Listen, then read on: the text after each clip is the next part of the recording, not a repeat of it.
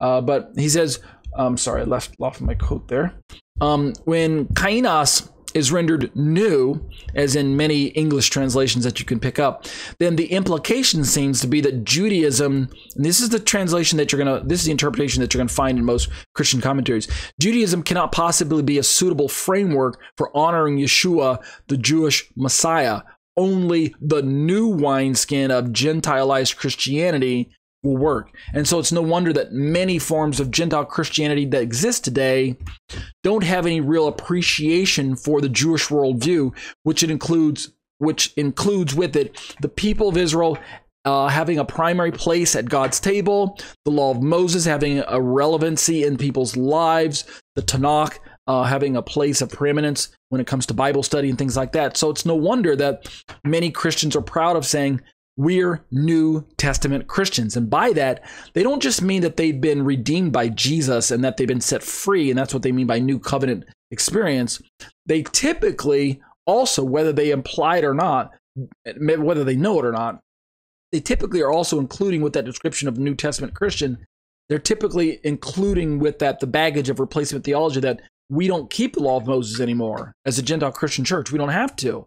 Jesus brought the new. We don't need the old. Jesus is the type. We don't look to the shadows anymore. I've been di- uh, recently having a dialogue with someone who's um, um, been watching my YouTube videos and leaving comments, and his point that he's trying to make is that Jesus brought the reality.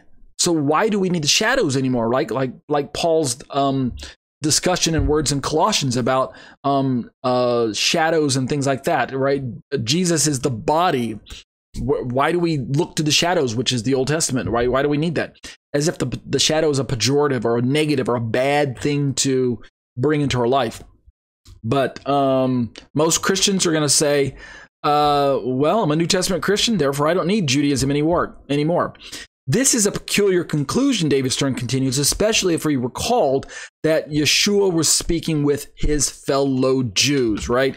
And he goes on to say that is rendered here in the uh, the point is that the only vessel which can hold the new wine of messianic life, right, Yeshua's teaching, in a Jewish setting is a properly renewed, restored, reconditioned. Sorry, let me scroll up there.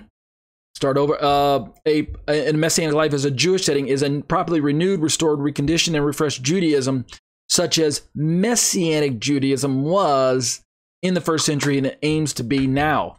And so he's going to champion, he's going to push his case that Messianic Judaism is viable. It was viable then, it's viable now, right?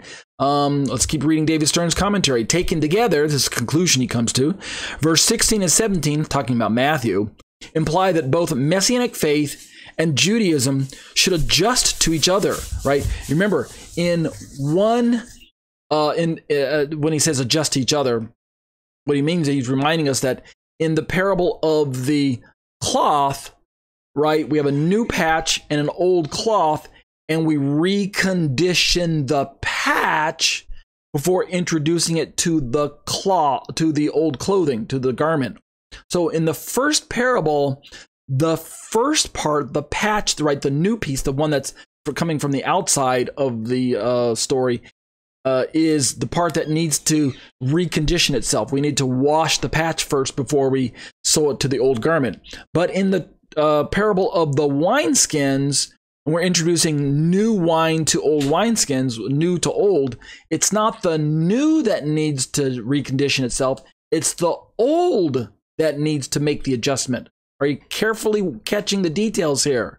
So if we just read the story and look at just the details, even at a face value level, um, uh, there are some slightly different details, and that's what David Stern's trying to say is if we put the two and overlap them, the um, part of the the part of the story about the patch and the part of the story about the wine, if we overlap those two, then we come to the conclusion that both parts need to adjust to each other. So there's some adjustment going on between two. He says, however, the accommodating must be true to God's word. On that, there is no room, on that, there's no room for compromise and he, he suggests that you see uh, 1352 of his commentary and following. And uh, if I were to click on that footnote number nine there, I lifted that from his uh, Jewish New Testament commentary, which I don't need to do. Let's uh, see. Um, I didn't get much further uh, than uh, I did uh, last week. I mean, I read one little paragraph, and I don't really jump want to jump uh, into. Um, do I want to? Let me see.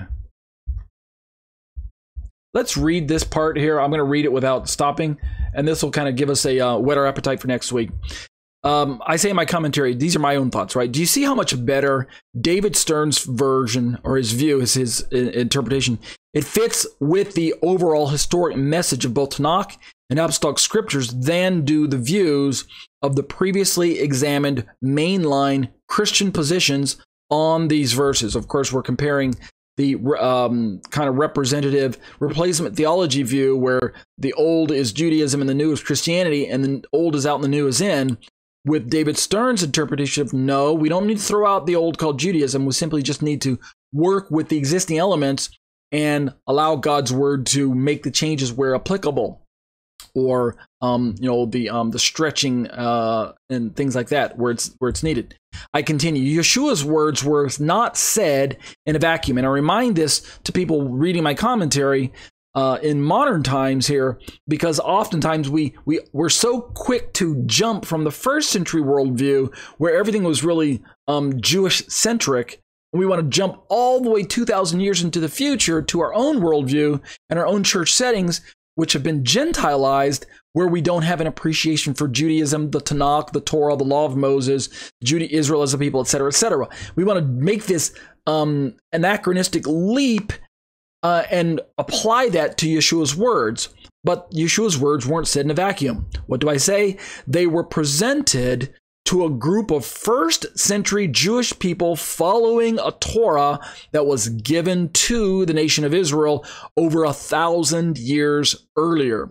What, what does this mean? It implies that this means if one leaps past the context of the first century, like many Christian commentaries do, I know they're well meaning, but they're not really playing by the best hermeneutic practices when it comes to interpreting the Bible from the historical grammatical method.